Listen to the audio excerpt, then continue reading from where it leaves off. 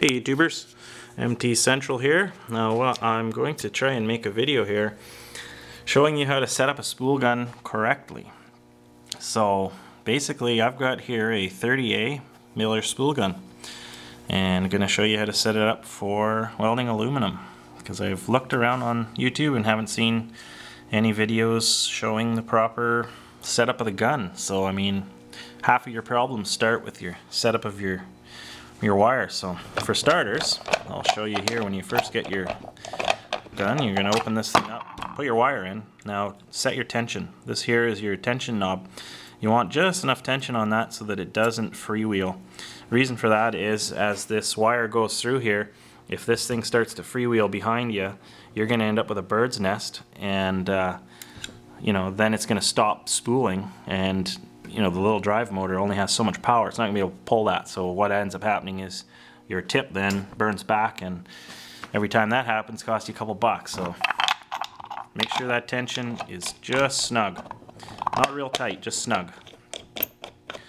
Uh, next thing is you're gonna get your you know your tension your wire tension set up for just so that it's got enough to pull it through the gun now that's this little knob here so this is, you know, you, you close that on your wire obviously, and depending on which one you're using, the top, the top one in here is going to be for your 045 or 364 wire, and the bottom one, which is what I'm on, is for 035.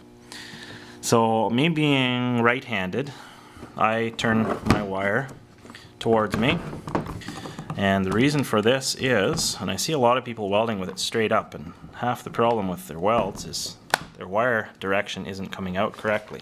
So at the end of your nozzle, you want this to come out with a curl. Now you want to weld in the direction of the curl. So the way you get that curl is by adjusting that right there.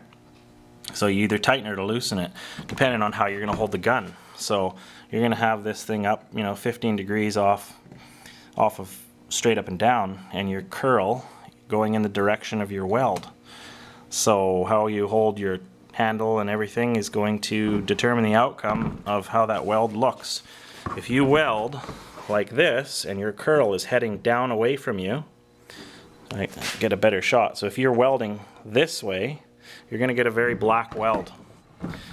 And uh, full, you know, the, the black is, is really prominent. You get a lot more smoke and you just don't get as nice a looking weld. So uh, we run into this a lot with new, new guys coming into our shop. So basically, that's about it. Tension on your wire first, tension on your drive roll, get that curl going in the direction you are. If you're left-handed, obviously you're going to turn this thing the other way and get that curl going that way. So, and next thing, of course, is going to be your gas setup. Um, just quick note, if you're inside a shop, you can probably get away with 20. I'll go over here and show you on the gauge. So probably I run about 20, 25. If it's a little windy, I'll be up to about 35, but any more than 35, and you're gonna pull in atmospheric air and get all sorts of crap in your weld. So you don't wanna ever run over 35. If it's too windy, you ain't welding aluminum, and that's that. So get everything set up right, and uh, well, have fun. So basically I'm going to try, I've been experimenting with some different camera angles and different cameras trying to get a decent looking weld video, but it's not working so far for me. If anyone's got any suggestions for me, please just shoot me a message because I'd like to make a real nice close-up of how I weld and how I get a nice looking bead and uh, try and help some other people that are just trying to be hobby welders as well. So. Let me know if you've got any ideas for my camera angles or cameras or what you put them behind. I've tried different shades of lenses and it's just not working out real well. So anyway, um, that will be upcoming.